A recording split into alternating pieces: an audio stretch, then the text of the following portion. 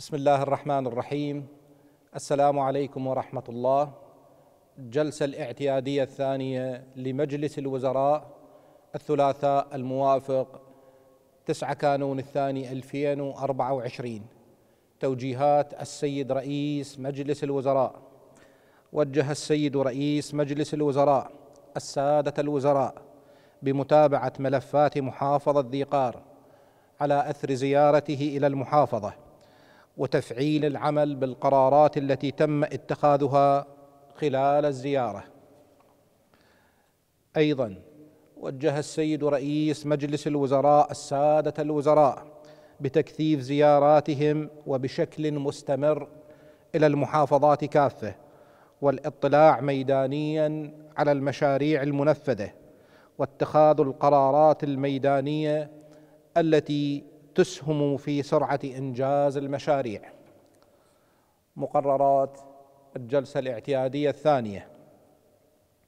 الموافقة على تمديد العمل بقرار مجلس الوزراء 23042 لسنة 2023 لغاية إكمال فريق الجهد الخدمي والهندسي لمهمات أعماله وتخويل مدير مكتب رئيس مجلس الوزراء.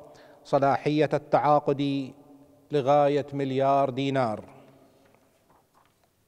إقرار توصية المجلس الوزاري للطاقة المرقم 23110 لسنة 2023 بحسب الآتي.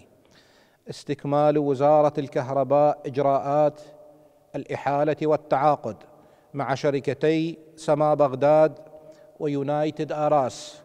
لتوقيع عقد مشروع توسعة محطة كهرباء الحيدرية الغازية على أن تتحمل شركة مابنا جروب كامل المسؤولية بشأن تجهيز المواد والمعدات وتنفيذ العقد استنادا إلى طلب الشركة الأخيرة استثناء من التعليمات وبمبلغ إجمالي 241 مليون و500 ألف يورو. وبمدة تنفيذ 840 يوما متضمنا. تنفيذ نطاق الدعوة الاحتكارية. HG 29 2023 مع تجهيز مواد احتياطية لمدة سنتين. ومنظومة تخفيض الغاز اس ومنظومة التبريد stream وأعمال مدنية أخرى وتنفيذ منهاج تدريبي متكامل وبنسبة زيادة مقدارها 14.73% عن الكلفة التخمينية بحسب الصلاحيات المالية. تعديل قرار مجلس الوزراء المرقم 23216 لسنة 2023 وفق ما يأتي. واحد تعديل الفقره واحد من القرار انفا وذلك بإضافة عبارة ويكون التخصيص بصفة الاستثمار استثناء من قرار مجلس الوزراء رقم 169 لسنة 2022 ولا يجوز الاستخدام إلا للغرض الذي تم التخصيص من أجله.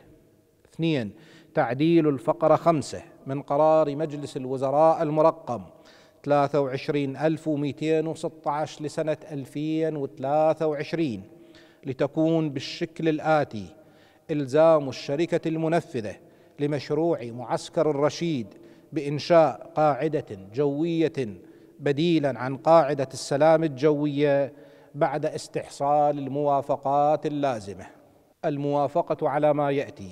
واحد الموافقة على فتح قنصلية عراقية عامة في مدينة ميونخ الألمانية استنادا إلى قانون الخدمة الخارجية رقم 45 لسنة 2008 واتفاقية فيينا للعلاقات القنصلية لعام 1963 اثنين تتولى وزارة المالية تخصيص مبلغ مالي لأغراض فتح القنصلية المذكورة آنفا. قرار الموافقة على مشروع قانون انضمام جمهورية العراق إلى اتفاقية القضاء على العنف والتحرش في عالم العمل الذي أعده مجلس الدولة ودخل حيز التنفيذ في 25 حزيران 2021 وإحالته إلى مجلس النواب. الموافقة على ما يأتي واحد تخصيص أرض مدينة أور السياحية لصالح صندوق إعمار محافظة ذي قار. بالمقاطعة ثلاثة السايح البالغ مساحتها 433 دونما لإكمال المشاريع الخاصة بها ضمن تخصيصات الصندوق المرفق بكتاب صندوق إعمار محافظة ذي قار. اثنين أخذ الجهات ذات العلاقة. الإجراءات لتنفيذ ما جاء في الفقرة واحد آنفا. الموافقة على ما يأتي. واحد نقل ملكية العقار المرقم 44 إلى 152 زوية. العائد إلى وزارة العمل والشؤون الاجتماعية. الكائن في مدخل شارع الإمام الحسين عليه السلام.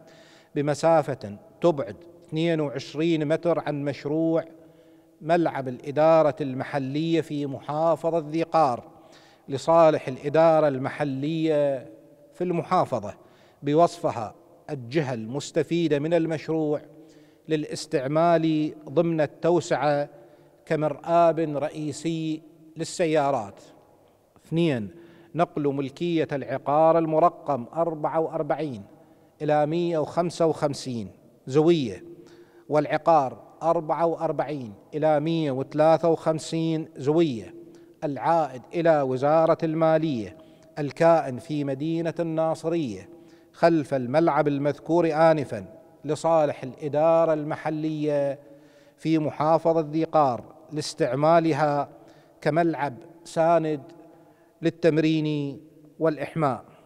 ثلاثة قيام صندوق إعمار محافظة ذي قار بالتنسيق مع وزارة التخطيط بإصدار أمر غيار بمبلغ سبع مليارات دينار عن تنفيذ أعمال جراج متعدد الطوابق وساحة تدريب لخمسمائة متفرج ضمن العقد المبرم لتنفيذ مشروع هدم وإعادة بناء ملعب الإدارة المحلية في مدينة الناصرية.